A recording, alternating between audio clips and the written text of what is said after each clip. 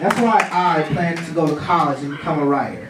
And that's why I, and other students like me, eager to learn, appreciate what our predecessors fought for. In today's world, you need an education to get a job, to support a family, and to move on up on, in life. Not making the effort to get a good education is deciding that you don't want to do anything with your life.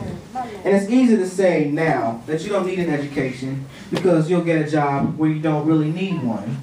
But years later, when you're struggling to keep a job and feed your family, you'll wish you paid a bit more attention to your studies. Our parents and grandparents struggled and fought for us to have the choice to get a good education and grow up to be successful. So I say we take that chance.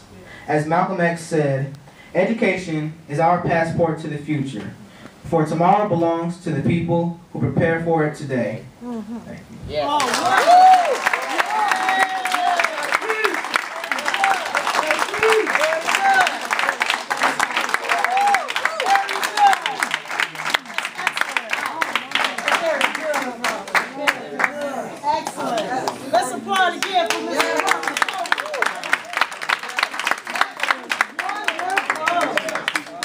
Very good.